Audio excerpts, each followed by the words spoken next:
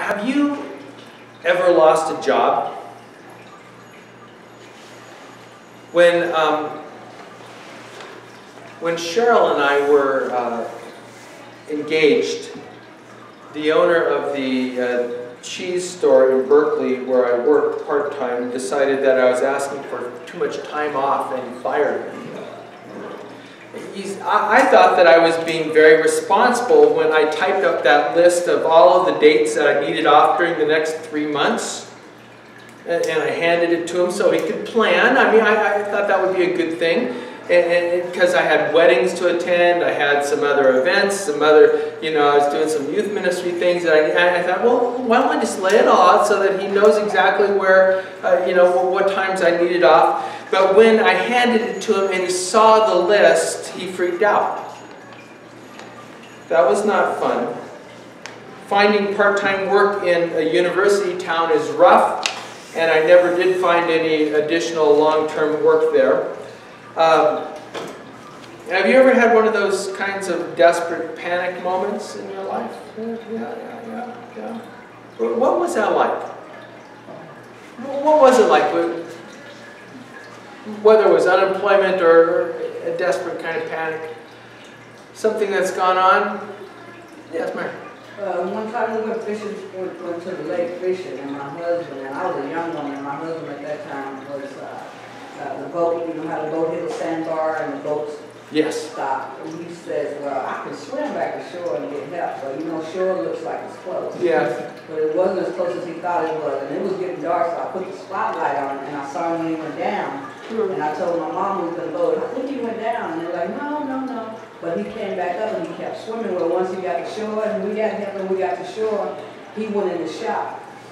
And so we had to get him to the hospital immediately his mouth was locked open, oh, eyes locked open, blah, blah, blah. And I was just, you know, and my mother told me, says, you have to slap him all the way to the hospital or I'm going to put you out on this dark road because I was like just freaking out, right? And I didn't know do, but I began to slap, slap, slap, slap, slap. And that was the type of feeling that I felt when you don't have any control over anything. And it's exactly what it is. You're desperate, desperate, desperate. Desperate. Yeah, desperate kinds of situation. Anyone else have a desperate kind of situation that they've been in? Where there's no, you just can't see the way out of it, how things are going to resolve? Uh, things were not looking good for Ezekiel. Uh, he was a brilliant 30-year-old priest dragged into the Babylonian exile when things were starting to unravel in Jerusalem. Uh, the, the politicians had, had played their cards wrong, and the Babylonian army had marched into Jerusalem, and they had hauled off many of the up-and-coming Jewish movers and shakers at that point. That effectively put an end to the priestly career of Ezekiel. Think about it. I mean, the Babylonians had not yet destroyed the temple in Jerusalem. They were about, they were going to do that in a couple of years. But, but even as an exilee uh, in a hostile foreign country with, with an oppressive government, it, being there made it impossible for Ezekiel to show up for his shift at the temple back in Jerusalem. And a priest without a temple is only a priest in name. He had, he had just barely gotten started in the temple. He was a young guy, and, and he, he had probably not even been there long enough to learn all the ropes uh, but before the soldiers dragged him to the Babylonian captivity. And, and, as we piece all of the, the details together, it seems that he had been in Babylonia uh, probably 10, 12 years before the Lord called him to do something new. Although it was not a job that he was called to, it was a calling. So I, I want to spend a few moments this morning talking about this idea of calling. What is a calling? What specifically, what does it mean to have a calling in, in light of the calling that Ezekiel experienced? And, and I want to do this by, by sharing four observations. The first one is this. When God calls, it's a vocation, not a job. When God calls, it is a vocation, not a job. Even an unemployed priest being held prisoner in an oppressive city 500 miles from his home, 500 miles from his place of employment, uh, could be called. Because it's not about a paycheck, it's not a, a job title, it's not about being recognized as any kind of authority. It is a vocation, a calling. That's, that's what the word vocation means. By the way, vocation is the English power word this week. If you're learning English, this, this is a word that would be good to know. In, in contemporary usage, vocation can mean a career path. Something that you're particularly well suited for. So you might have a career in the food service industry, or you might have a career as a carpenter, or you might have a career in retail. Uh, we sometimes talk about that as being vocation. But I'm using vocation in a more traditional way. Vocation is when God speaks to you and asks you to do something. The, the word uh, vocation actually comes from a, a Latin word, vocatio, uh, which means to call or summon. To call or summon. We have some other English words that are based on this same related root, such as, can you think of any other words that might be related? vocal, Vocabulary. vocabulary. And, and while you might choose a career path, you might choose a job, an actual vocation chooses you. That's, that's one of the primary differences. Perhaps God is calling you to make preaching or teaching or caring for the sick or caring for broken people the focal point of your life energy, what everything that you've got even if it never becomes an actual job, even if nobody ever pays you to do this kind of stuff. We're all called to follow Jesus, but some of us have a special calling to follow Jesus by taking care of broken people. Some of us are called to serve Him as ministers of word and sacrament. That, that's what ordination recognizes. That, that God has called a man or a woman to give his or her life over to leading in the church or leading in his mission, and, specifically through teaching and preaching and sacraments, uh, a call that, that they take so seriously that they train for it. I brought my uh, certificate of ordination this morning.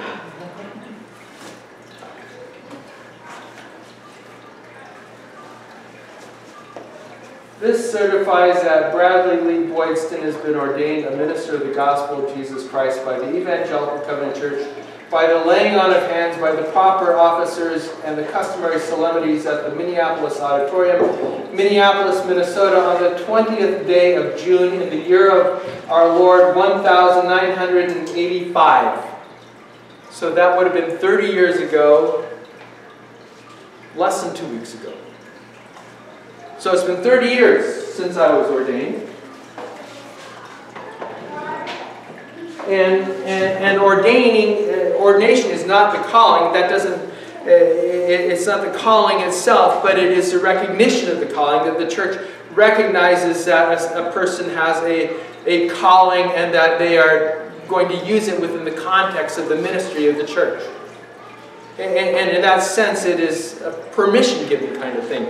In, our own fellowship, we have um, we have um, ordained the word and sacrament, which is what my ordination is, uh, and most of the pastors are ordained this way. And, and then we've got a, a, second ordination called ordained word and service, and these are people who have a calling that the church recognizes in, in a specialized area. So, for example, uh, if somebody is, feel, is called to youth ministry for their life, they, they might be ordained a word in service in a youth ministry, or music. You know, they, they trained for music. Or, or we even we have one woman that is ordained a word in service who is a veterinarian. She, she uses her, her skills with animals to, to help with the mission of the church. And, and, and so that's just another way that, that we do it. Uh, ordination does not mean that other people cannot or should not teach, but that there are some called to make that their life. That is how they are responding to the call of Jesus on their lives. And I would suggest that some others are called uh, to by God into business. Some people are called by God into education, or some are called into science. Some are called into medicine. These can all be vocations if someone is re responding to the voice of God. Now, sometimes when the Lord calls us to do something, we can do it within the context of a job. You can get paid for it, but, but often we do it without getting paid. It's not always a paying job. And often it's not even an officially recognized position. For example, one can fulfill a calling to teach or to write without ever being gainfully employed as a teacher or a writer.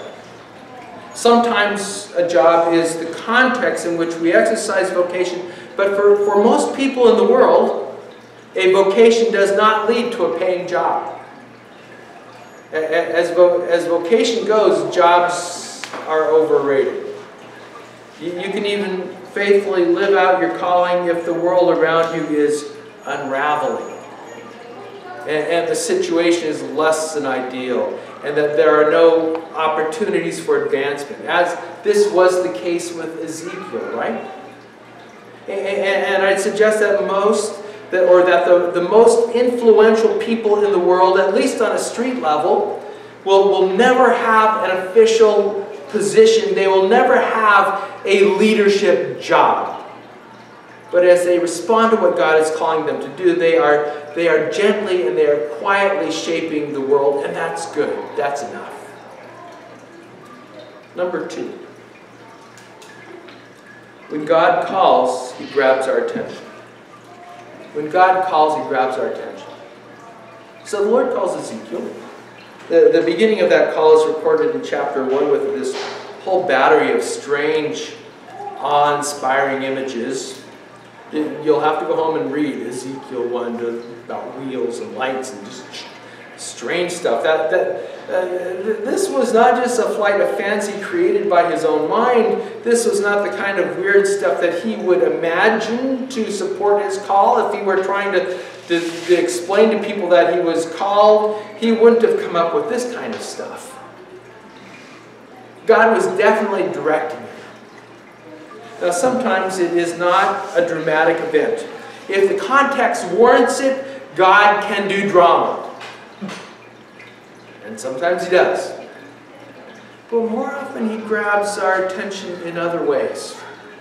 Uh, I'm thinking of my own pastoral call. I did not really want to be a pastor. I kind of danced around it for years uh, before the year that I spent serving the, uh, the Berkeley Covenant Church as a youth minister. That's when I was also working in the cheese store.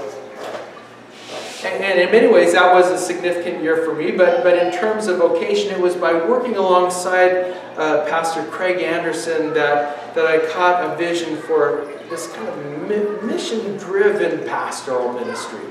It was a little different, and I got a vision for it. I'd, I'd spent a lot of time with pastors over the preceding years, but I didn't start to hear the voice of God in terms of it being a, a, a lifelong thing for me, a lifelong vocation Uh, until I was hanging out with Craig. God grabbed my attention through observation and, and, and discussion, conversations with him. And from that point, lots of things started to shift around and I was able to, to find focus in my life. Number three. When God calls, it's rarely easy. When God calls, it's rarely easy. Staples Office Supply has had an ingenious promotional gimmick for the last few years. It is the easy button, right?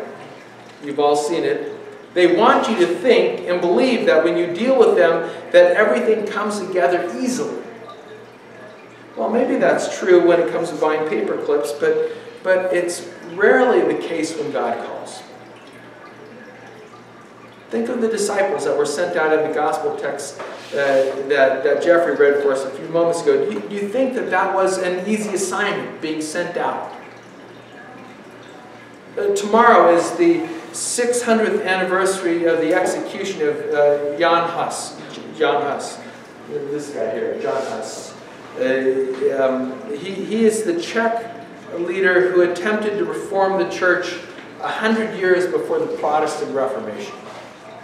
We can trace some of our roots as a covenant church directly to his Moravian followers and their influence. And, and Huss was burned at the stake. Sometimes the call of God moves that direction. Just because God is behind it, that doesn't mean it will be easy. It, it doesn't usually, He doesn't usually call us to do easy things. The reason that He is calling us is that it is a difficult situation. Listen again to verses uh, 3 through 7 and, and count the number of times that, uh, it, that God tells Ezekiel that there is no easy button. How many statements does he make to that effect?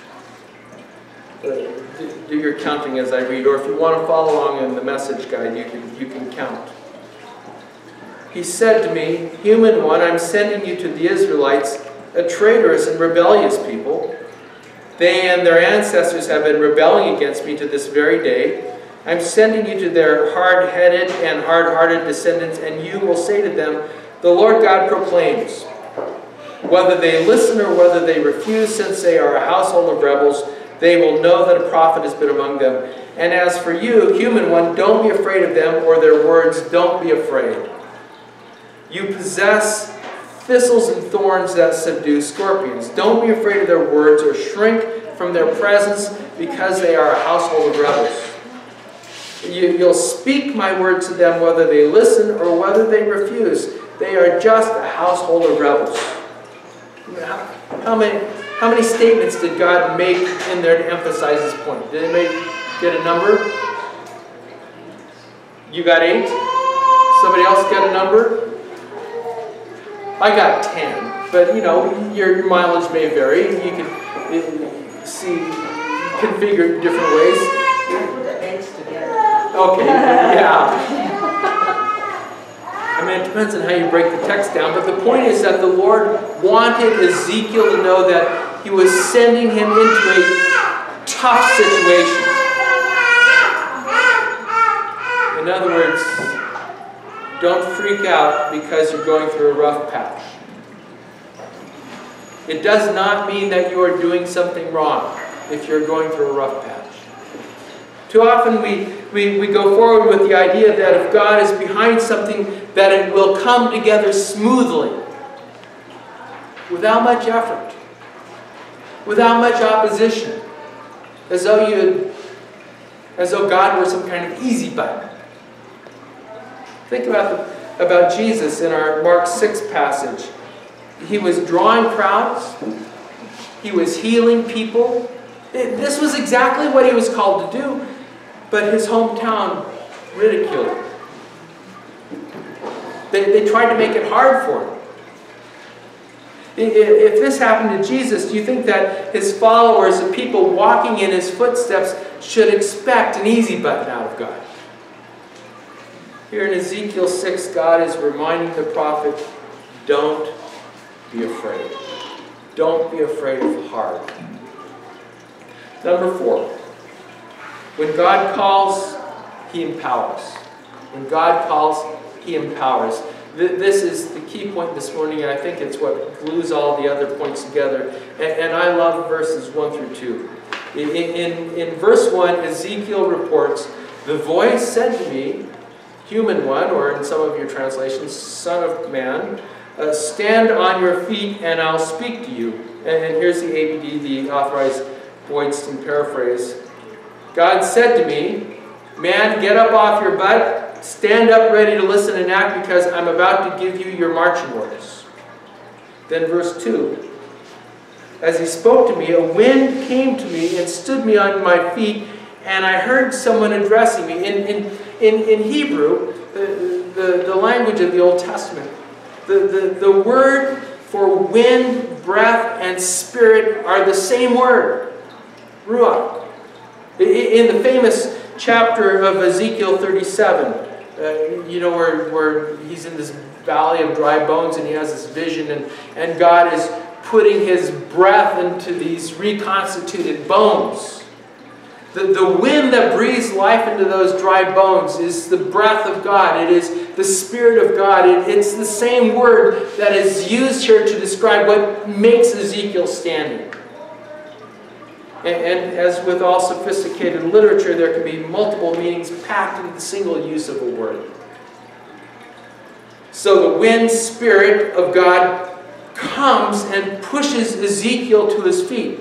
This is the power of God putting Ezekiel in a position to hear and to act. God is empowering the prophet to speak. He's putting him on his feet. When God calls, he empowers. If God is calling you to do something, he is going to be involved in the situation. And, that's the reason why Ezekiel does not have to be afraid. God keeps saying, don't be afraid. No, they're going to be, don't be afraid. They're going to, be, don't be afraid. And, and, and that's the reason why when God calls you to something that is out of your comfort zone, as it often is when God calls, that you do not have to freak out. You should fully expect a wind to come and stand you on your feet. When God calls, He empowers. But again, think about Jesus, called by the Father to live among us, to serve us when we should have been the ones who were serving Him. He came to serve us, to die for us without a cause, and, and then to break through the death barrier. None of this would be possible for Jesus, even for Jesus. This was impossible stuff, even for Jesus. When he became a man the, the, the son set aside his power. He put them on the shelf. He put them in the cupboard. Uh, uh, when, when Jesus was born as a human being, he set aside his powers and he had to depend on the power from the Father and from the Spirit who enabled him to do all of this. When God calls, he empowers. Has God been calling you to do something? Something that you've been fearful to embrace. Or, or maybe you are in the middle of responding to that call and you are afraid that you can't handle it, that, that you are going to unravel, that you are going to fall apart. Uh, I'm here to tell you this morning that if you are responding to the call of God, whether that involves taking care of difficult children, or starting a child care center, or, or preaching and teaching or caring for the sick, in spite of the challenges and in spite of the difficulties, in spite of the difficult people, the, in spite of the stress and, and the apparent lack of means in it all. You don't have to be afraid. You will not unravel. For when God calls, He empowers. And that is the good Who would be willing to add some more insight or, or ask a question or, or share a word of testimony on this one?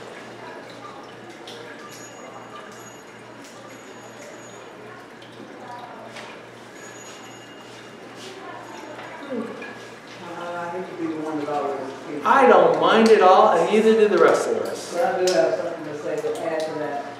Also, when God calls, it's like a test of faith. When you talk about being afraid, that's just the reverse of, you know, if you believe and trust in God with all your heart, which we say we do when we confess to the Lord as our Savior, and when you step out into the thing that He is pushing you into, it's not you that's going, it's Him that's driving you. It's Him that's putting you on your feet to do it. Absolutely. It's exactly right. Very good. Very good. Someone else? I'm thinking about when we needed to raise support to go to Guam. It was a huge amount that we had to raise, and it seemed impossible. And so because of that, you said, well, then there's no way I can do it. And so then that was just really freeing and releasing because there was no way we, we could do it on our own. And so we'll just sit back and wait and see what God provides. And so that was actually, the impossibility was actually freeing. The, the, catch that the impossibility of it all was freeing?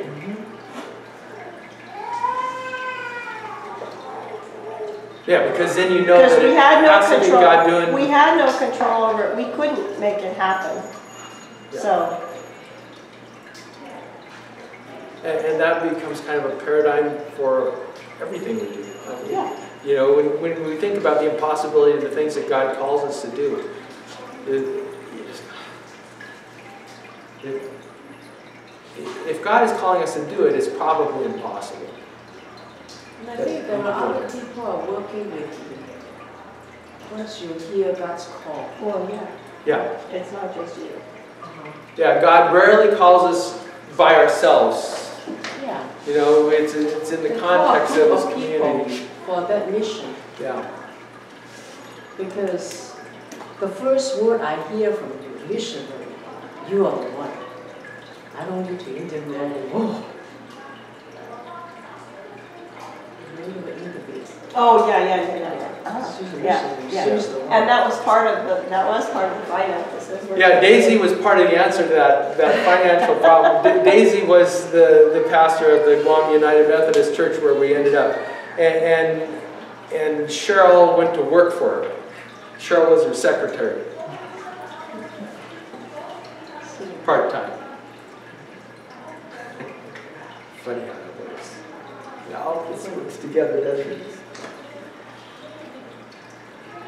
Someone else want to add?